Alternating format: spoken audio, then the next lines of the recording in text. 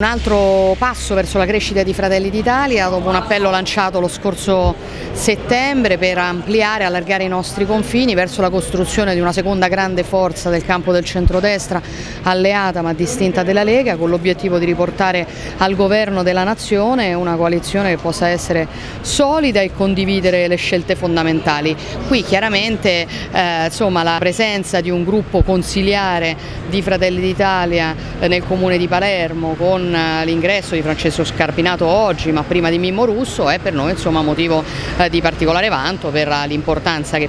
che, Palermo ha chiaramente per lo scacchiere eh, siciliano nella realtà siciliana e a livello nazionale. Eh, I nomi ancora, diciamo, non, chiaramente stiamo già lavorando sulle liste, anche se insomma, le liste non sono chiuse, quindi è molto presto per fare i nomi. Posso anticipare che la lista di Fratelli d'Italia sarà qui e negli altri quattro eh, collegi italiani una lista molto forte che noi pensiamo davvero di poter rappresentare alle prossime elezioni europee la sorpresa eh, elettorale. Credo che eh, il nostro percorso di coerenza, di mantenimento della parola data, eh, di avere in questi mesi lavorato anche rispetto al governo senza pregiudizio ma votando quello che era compatibile con ciò per cui i cittadini ci avevano votato e avevano votato a maggioranza, non votando quello che invece consideriamo dannoso per per gli italiani. Penso che questa scelta stia pagando e che configuri oggi Fratelli d'Italia come la forza, eh, la forza politica più credibile e coerente che ci sia. Ho letto di una posizione di neutralità del Presidente Musumeci che francamente non eh, comprendo a meno che non sia dettata diciamo così, da una difficoltà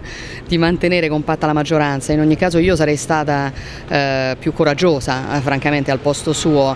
È, è un elemento di chiarezza per, per, eh, per i siciliani, sanno che nelle prossime elezioni europee se vogliono votare a destra, la scelta di votare a destra è eh, la scelta di votare Fratelli d'Italia. Il governo regionale è un governo che sicuramente ha trovato una realtà molto complessa sulla quale cominciare a lavorare eh, e sicuramente insomma, ha avuto bisogno di molto tempo per eh, cercare almeno di riorganizzare la macchina, questo è un lavoro sotterraneo chiaramente abbastanza complesso da fare, ehm, credo che ci siano dei lati positivi nell'attività del governo, eh, il tema della spesa dei fondi europei per esempio segnala una discontinuità con il passato, credo che si possa fare ancora più e meglio e sicuramente Fratelli d'Italia sta dando una mano. È per esempio nostra la proposta, io considero molto importante, di sostenere gli studenti fuori sede, i siciliani costretti a, ad allontanarsi per, eh, per, le cure sanitarie, eh, per avere un contributo da parte dell'ARS, della, dell da parte della Regione, eh, per, per, appunto, per, poter calmierare le spese. Insomma. Quindi stiamo cercando di fare delle proposte il più possibile concrete perché la Sicilia ha bisogno di risposte concrete, insomma, di poca filosofia e di molti fatti. Tornando all'Europeo si è parlato di un'interlocuzione con Raffaele Lombardo.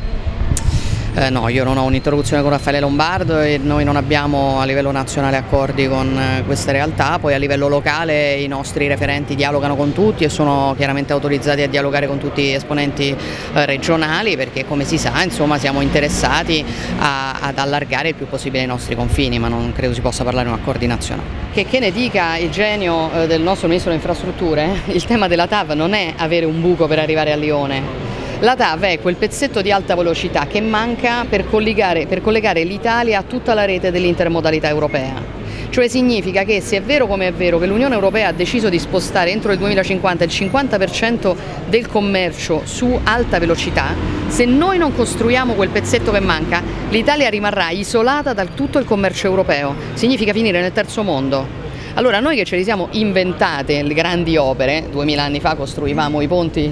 diciamo, in dieci giorni per attraversare il Reno, alcuni stanno ancora in piedi e qui non si riesce per esempio a lavorare, beh, se ne parla da decenni, del ponte sullo stretto di Messina. Eh, io penso che invece il tema delle infrastrutture sia un grandissimo tema. Eh, se lei guarda il caso di Termini Merese, a Termini Merese noi viviamo la situazione che stiamo vivendo perché c'era un'assenza di infrastrutture commerciali e perché quello che veniva prodotto nella fabbrica di Termini Merese aveva difficoltà ad arrivare dove doveva arrivare, senza infrastrutture noi siamo spacciati. Senza infrastrutture abbiamo solo cattedrali nel deserto. Il reddito di cittadinanza è una grande bufala, è una grande bufala sui numeri